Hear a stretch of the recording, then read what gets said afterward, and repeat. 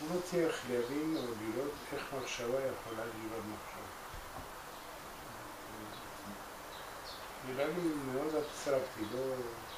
אני גם לא יכול לראות. איך, אפשר להגיד דבר כזה?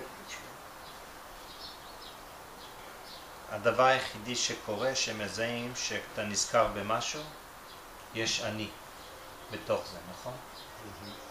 רק זה, הזיכרון זה מחשבה שמתארת משהו שהוא איננו.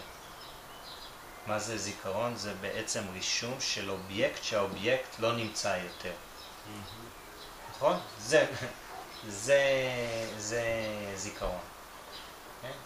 נזכר באימא, נזכר בילד, נזכר בבן זוג, נזכר באוטו, כן? נזכר ב... זה אומר הרישום, רואים את התמונה, אין את האובייקט. נכון? זה, זה בעצם מחשבה. עכשיו, ברגע שהיא מופיעה, יש אני שרואה אותה.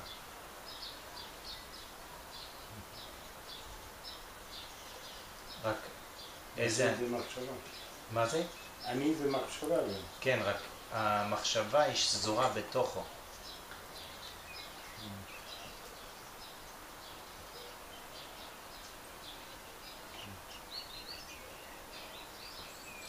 וכשהמחשבה נעלמת, לך, אה, אין אני.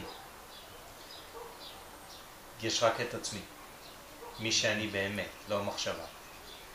לכן, כל עוד יש מחשבות, יהיה תחושה של אני נפרד, שחושב את המחשבות האלה. כל עוד המחשבות ייראו אמיתיות, יהיה תחושה שאני אמיתי חושב את המחשבות האלה. זה מערכת יחסים שיש בין אני למחשבות. זה הישות הנפרדת? מה? זה הישות הנפרדת? כן. אני והמחשבות? כן. אני ואחרים? כן, גם. לא כי אני ואחרים זה... זה ישות נפרדת. אני כגוף פיזי ואחרים כעוד גוף פיזי, לא? כן, זה נפרד וזה נפרד, לא? כן. למרות שהכל קורה בתוך המחשבות אצלך. תראו, אתם נפגשים עם מישהו, הלכתם, ואז אתם מתחילים לדבר. מה הוא חשב, איך הוא זה, איך הוא, אז יש הוא, אצל מי? אצלכם, ויש אני. עכשיו אנחנו במערכת יחסים, הוא כבר איננו. הוא כבר הלך, האובייקט נעלם, יש רק רישום של האובייקט, שהאובייקט כבר לא נמצא. עכשיו יש הוא ואני, איפה? בעולם, בתודעה אצלי. אני במערכת יחסים עכשיו, אני בדיאלוג איתו.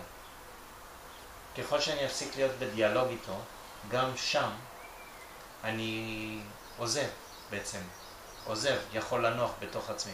כי אם אני אתעסק בו, במחשבות אצלי, אני גם לא שם לב מה קורה, זה ההרגל, אני לא שם לב בכלל שאני מדמיין אותו. זה הכל אני. אני עושה את זה, אני מדמיין אותו, ואני מאמין שזה מה שקרה לו, ואני חושב שזה מה שהוא הרגיש, ואני גם מרגיש איזה, איך הייתה האינטראקציה שלי מולו, כלומר יש אני ויש הוא אמיתיים, שבכל, באותו רגע אני מדמיין את הכל. כי מישהו יבוא, איזה חבר שלי, אני אגיד, וואו, או אני יוש... מדבר עם מישהו לידי, רק אני יוצר את הכל באותו רגע. כן, זה לברוא את מה שנקרא את העולם. יש גם ישות נפרדת שלך עם עצמך? כן? כי יש לי כל מיני רעיונות איך אני אמור להיות, איך אני אמור לתפוס את עצמי, איך אני אמור להתנהג, מה אני אמור לחשוב ומה אני אמור להאמין או לא להאמין. ומי שאני בכלל אין לו שום קשר לזה, שקט מוחלט. אז מה הישות הנפרדת בתוך זה? בתוך הדמיון הזה של... חלום. היא חולמת את עצמה, ואז היא חולמת את כל היקום. היא עושה את זה בחלום, שחמשת החושים סגורים. אז שאומרים שאני לא ישות נפרדת, מה הכוונה? שכולם... ש- כשאת חווה את... לא, ש- כשאת חווה את עצמך. להגיד שמישהו לא קיים, זה להגיד שהוא מה? קיים. שהוא קיים.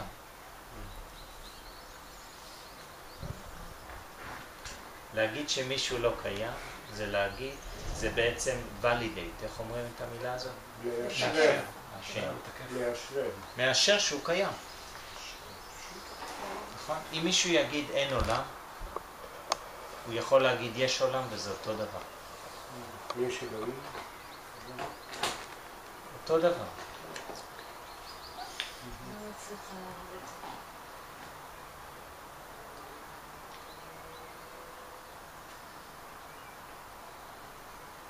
אמ, יותר מהותי זה לראות האם המחשבה היא אמיתית או לא אמיתית.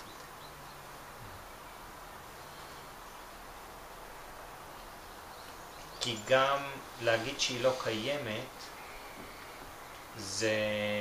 כמו להגיד שהיא קיימת. כן, כן. איך את יודעת שהיא לא קיימת? להגיד מחשבה שהיא לא קיימת, זה כמו להגיד מחשבה שהיא קיימת.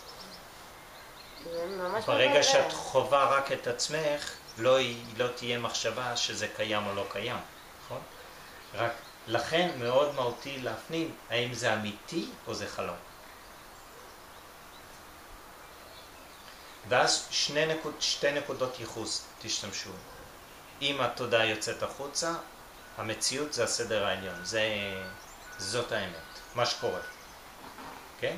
ואם התודעה לא יוצאת החוצה, מי שאני, זאת האמת המוחלטת. בגלל שהמציאות והאמת המוחלטת לא נפרדות, זה לא נפרד, זה לא נפרד. לא יכול להגיד שזה ישות אחת.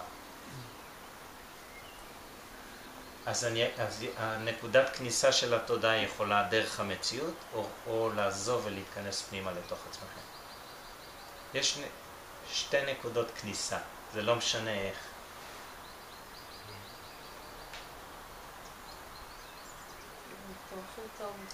כן, זה כאילו, אין בחוץ באמת. מה זה אומר? שהתודעה נכנעת, מתמסרת לרגע, היא נעלמה, נכון? זה יכול להיות כתוצאה מאירוע בחוץ, אז זו הייתה נקודת כניסה לתודעה. הטריגר, הוא היה בחוץ, היא נעלמה. או שהיא מופנית, מופנית תשומת הלב פנימה והיא נעלמת לתוך עצמכם. אז זה שתי נקודות כניסה, גם אפשר, אם מקשיבים למשהו,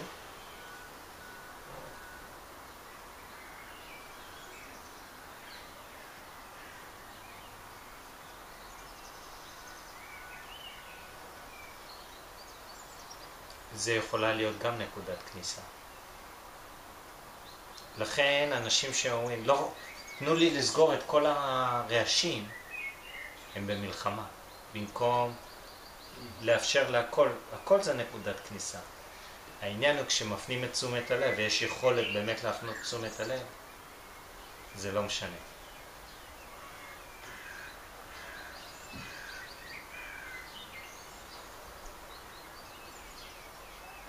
זה מבהיר?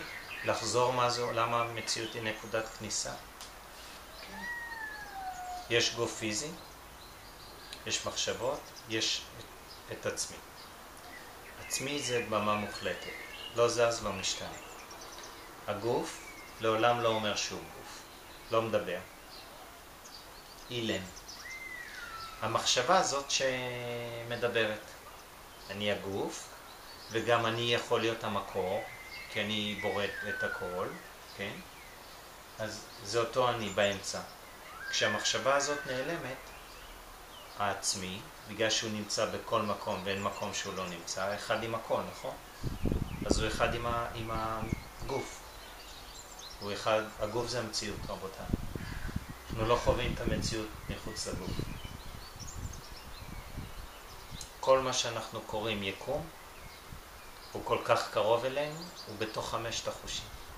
אני מדבר על יקום גשמי חיצוני. כן? סגרנו את חמשת החושים, כל היקומים, כל העולמות, הכל עכשיו זה רק באמת איפה שזה נמצא, בעולם המחשבות. אנחנו רק דרך חמשת החושים הקרנו את זה החוצה, למרות שזה מוקרן בתוך התודעה. כלומר, כל היקום נמצא כל כך קרוב, דבוק אלינו, בתוך חמשת החושים, בשדה של הגוף הפיזי.